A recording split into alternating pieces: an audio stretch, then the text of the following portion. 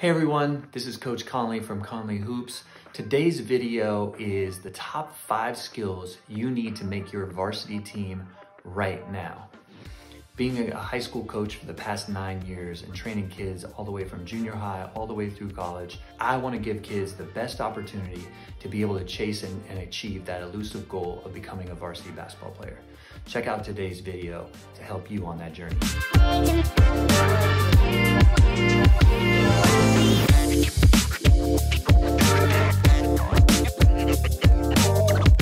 So I'm sitting here this weekend watching the NCAA tournament, thinking about how great it would be to have that experience and uh, knowing a couple players that have been through it. Um, it's so awesome, but it's even great just to watch all these players compete at such a high level. And so today's video is all about, you know, how do you make your varsity team? What are the top five skills that stand out to help you achieve your goal? Because the first thing is to make the team, right? That's what you got to do. So if you want to make your team right now, these are the top five skills that you need to achieve that goal. The first and most important skill that you need to achieve your goals is learning to talk. Now, that doesn't just mean trash talking your teammates, which at times can be a good way to get motivation. But we don't want to be a negative player. To get through tryouts, we need to show that we're the most communicative player out there. We need to be positive. We need to be inspiring. And today, a lot of the kids don't communicate at all. Uh, being a high school coach, it is the one thing that I wish more kids had experience communicating and talking and being positive. It is one of the first things that college coaches talk about having to get out of their players when they make a college team. And high school is no different. I think we spend four years really trying to get guys to communicate more, and sometimes it doesn't happen at all. But every successful team has guys that communicate on and off the floor all the time.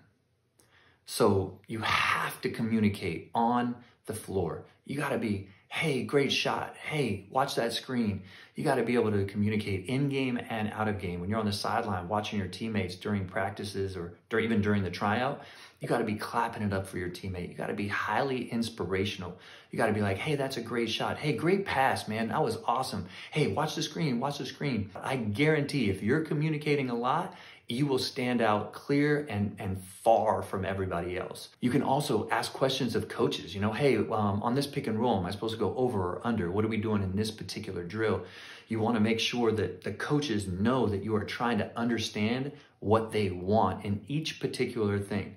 And, and the more you, you inspire positively with your teammates, let's say we're doing a shooting drill and you're like, hey, that's a great shot. Hey, great pass, man. Oh, my bad. I, I'll make the next one or even to their teammate, hey, you're going to make that next shot. Nice job, man. Whatever it is, if you can communicate to your teammates, to your coaches, and show how interested you are in the success of everyone else around you, that's going to stand out and that's going to make you a success, especially in that moment. Next thing is shooting. Shooting is usually my number one because that's what I am, a shooting coach.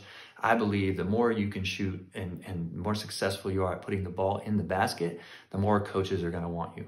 I know I would take a guy that can shoot the ball over most guys that can just play defense because I know how important putting the ball in the basket is at the highest levels.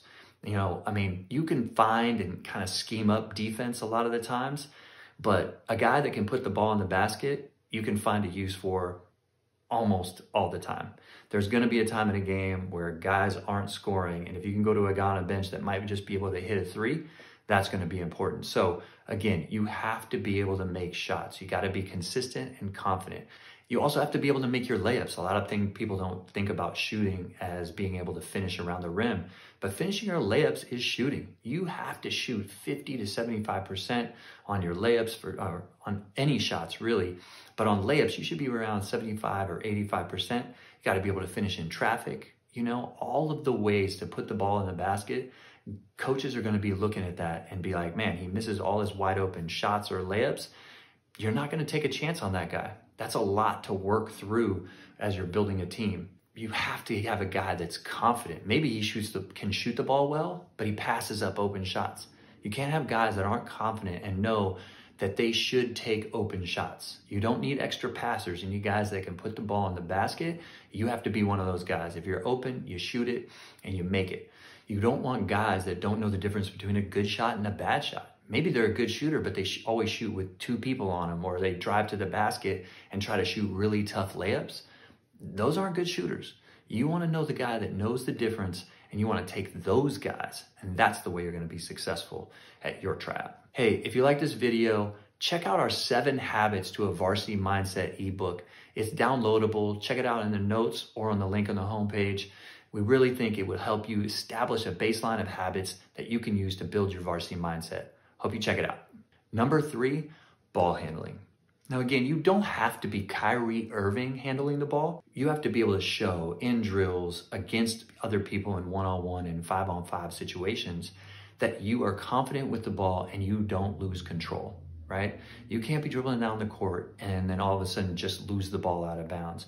You can't be trying to set up a play and all of a sudden it just gets tapped away, or you have to turn your back to protect the ball because you're not confident in staying squared up that's really a clear sign that you don't have confidence with your dribble. And that's something you can work on every day, 20 to 30 minutes, and get better at. So spend the time, even before you get to trials, really working on that. Other than control, you have to be able to beat somebody off the dribble. You don't need a bunch of fancy moves, but you need one or two moves that you're confident with and that you can use in a game or a situation or a one-on-one that you for sure can beat someone. This game is all about breaking down the defense, beating one guy and creating two on one situations. If you can't do that with your dribble, you're going to be very limited in what you can accomplish in a team setting. If a guy can take away your shooting ability, you're going to need to be able to put the ball on the floor and create an opportunity for either you to score or a teammate to score off the help. You can't turn the ball over even if your handles are really good, if you get crazy with the ball and you're not understanding that controlling the ball is more important than making some crazy move or really dynamic move, I know out there highlight reels are a plenty of people doing all kinds of great stuff. You don't need to do that to create offense for your team and your coach. They just want to make sure that you can run plays, get to spots, and make sure to, you can do the things that they want you to do. So don't get crazy with your handlings. Don't turn the ball over and you will have success. Number four, conditioning. You have to be in shape. You can't go into tryouts, do the first drill and be huffing and puffing, need a break. I've had kids have to come out and, and, and go throw up in the bathroom because they've never worked out that hard. Don't be that guy. Be a guy who's in shape. You've run miles a few times a week. You run sprints all the time. If you're the guy that's finishing first in all the sprints, cheering everybody on as they come in behind you, that guy's going to stand out. Not only are you in shape, but you're also competitive.